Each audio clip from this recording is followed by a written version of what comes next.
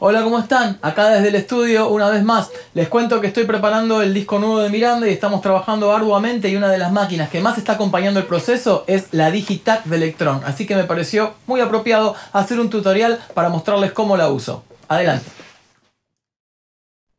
Muy bien, primeros pasos en nuestra Digitac.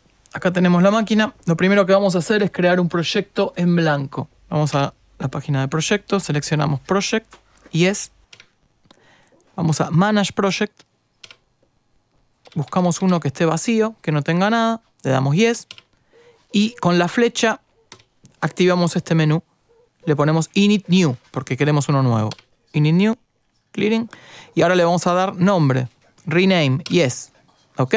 Para el nombre, lo que yo hago, primero para borrar esto, apretamos Function y Clear. Fíjense que la máquina tiene en naranja un montón de funciones adicionales a cada botón que se activan apretando Function. Entonces el play a la vez es clear. Si apretas Function y play, clear y borramos todo el proyecto.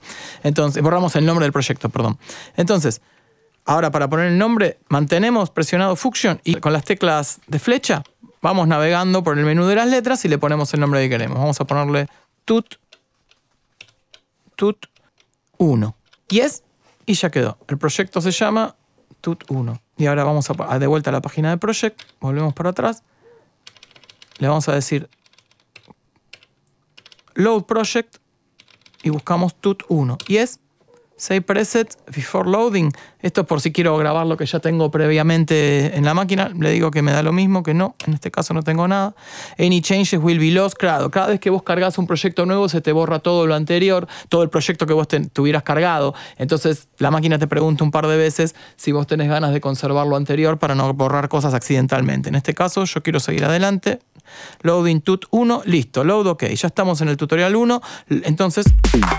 Estos son los sonidos que la máquina tiene por defecto. Tenés un bombo, un tambor, tom, clap, cowbell, hi-hat cerrado abierto y un plato. Cada uno de los sonidos tiene cinco páginas para edición. Cada sonido tiene edición. La página de trigger, la página de source, la de filtro, amplificación, amp, que son es la envolvente de amplificación, y el LFO. Ok, eso para cada uno, pero eso lo vamos a ver más adelante. Ahora lo que vamos a hacer es programar un ritmo. Seleccionamos el canal que queremos programar, el del bombo primero, apretamos REC y de esta manera ya se activa la grilla para activar un ritmo de 16 pasos. Pum, pum, pum, pum. Bombo en 4. ¿Ok? Queremos sumarle un tambor. Apretamos de vuelta track. Vamos al track 2. Y acá le sumamos el tambor, ¿ves? Si algún sonido, si algo lo querés cambiar, simplemente lo apretás y se borra.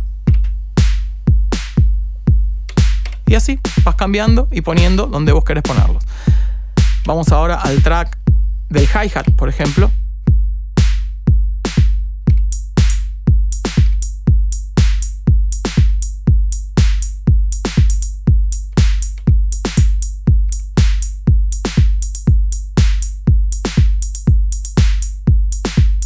Ahí va. Ok, sigamos adelante programando alguna cosita más. Buscamos ahora, por ejemplo, el track del cowbell.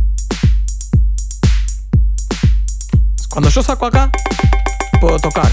Cuando yo mantengo esto pulsado y, el, rec se mantiene encendido, lo que yo pulse va a salir ahí. Pero yo se, va, se, va, a incorporar el patrón. Lo que yo quiero grabar ahora es en tiempo real. ¿Cómo hago para grabar en tiempo real? Muy simple dejo mantenido el rec apretado y le doy play. Y vos fíjate que ahora el rec, en lugar de mantenerse fijo, titila. Eso quiere decir que la máquina está grabando en tiempo real. Entonces, vamos al clap, al cowbell. Y ahí me grabó.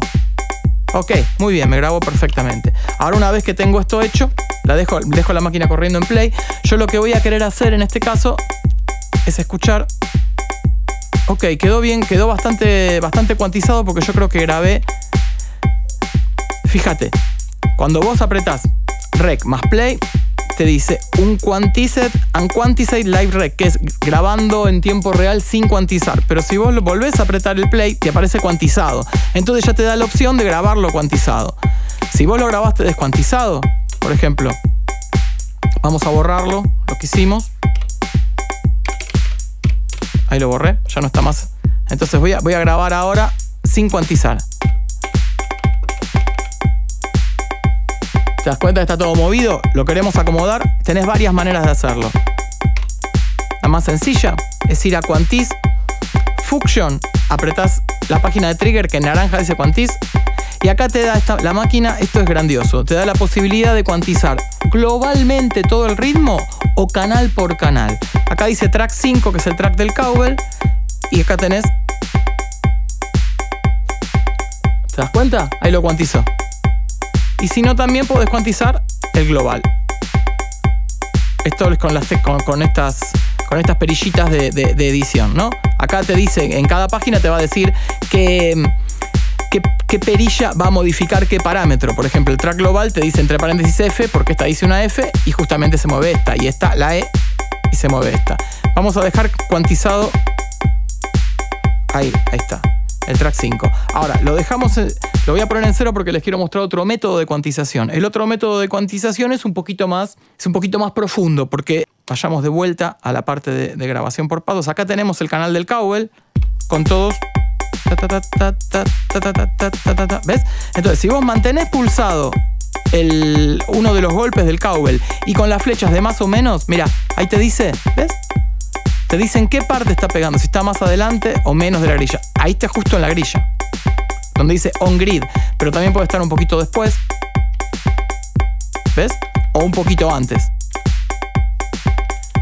Si querés cuantizar con esto directamente, buscas que todas estén on grid. Ahí, ¿dónde está? Espera. Ahí está, on grid. Y lo mismo con todas.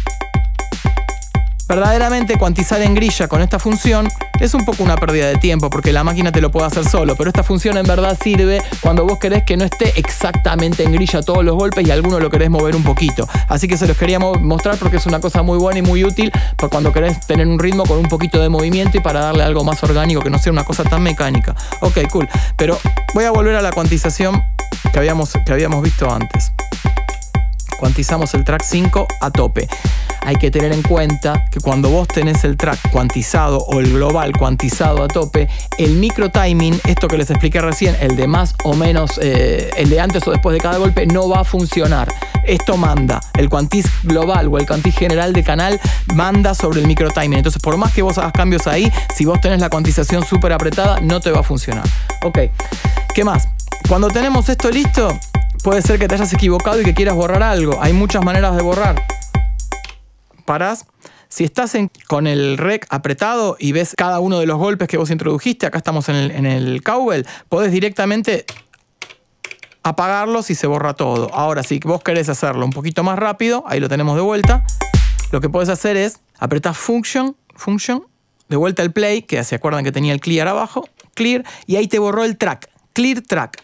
Guarda, atención, porque si no está apretado Rec y vos apretás Clear, bueno, lo voy a hacer ahora. Creo que me va a preguntar. No, no me preguntó nada. Mira lo que pasó. Borré toda mi secuencia. Ok, pensé que me iba a preguntar antes. No importa, la vuelvo a hacer. Pero esto es un error muy usual y por ahí vos llevas mucho tiempo trabajando en una secuencia y querés grabar un track y querés borrar solo un track y te olvidas de que, no, de que no tenés apretado el rec y el track seleccionado. Entonces estás al horno porque te va a borrar toda la secuencia sin siquiera preguntarte si la querés recuperar. Vamos a volver a hacerla. Entonces. Cuando tenemos el pattern listo, tal vez lo quieras copiar para hacer alguna variación en el pattern. El pattern que nosotros estábamos trabajando era el 1, ¿verdad? Entonces, cuando estás acá en 1, apretas pattern 1, apretas function, copy, acá te dice copy pattern. Volvés a apretar pattern, pones en pattern 2, function, paste, tiki, paste pattern. Entonces ahora el pattern lo tenés en el 1 y ahora el pattern lo tenés en el 2 también. Cuando querés salvar todo esto que vos hiciste, es fundamental hacerlo. Hay dos maneras. Podés salvar el pattern por un lado, que es, un es salvarlo rápido, save pattern, function, yes, te salva el pattern a un área temporal. Por si vos querés hacer algunos cambios y te equivocaste en algo y querés volver al pattern original, podés hacerlo. Pero lo que yo recomiendo es que lo graben en los proyectos, porque el proyecto contiene tanto los patterns como los sonidos, como todo lo que vos hiciste. Entonces te conviene si estás trabajando en muchos proyectos diferentes, no sé, eh, en, mi caso tengo todo un proyecto que es el nuevo disco de Miranda, que estoy trabajándolo mucho con esta máquina, y también aparte tengo otro proyecto con otros, otros trabajos que tengo. Bueno, entonces son diferentes proyectos y voy salvando cada cosa. Suponete que este va a el proyecto tutoriales, que lo iniciamos con este patrón que hice acá y que vamos a continuar trabajando en, tutoriales siguientes, ya lo, quiero grabar ahí en el proyecto. Entonces voy a Function, Save Project, Save All Patterns and Project Setting, ¿y o no? Sí, sí. Ahí está. Y lo tengo todo en el tutorial. Listo. Y ya me lo salvo ahí. Bueno, estos son los primeros pasos en Electron Digitac. Es el primer video que hago con esta máquina que me encanta. La estoy usando muchísimo, sobre todo para el, en el próximo álbum de Miranda. La usé muchísimo, la compré y ya me puse a trabajar en ese disco. Así que bueno, la van a escuchar en el disco y, les prometo más tutoriales metiéndonos un poquito más en la, en la programación y en toda la cantidad de funciones que la máquina nos ofrece. Esto fue tan solo un primer pantallazo para quien se acerca por primera vez a la máquina. Espero lo hayan disfrutado y les sea de utilidad.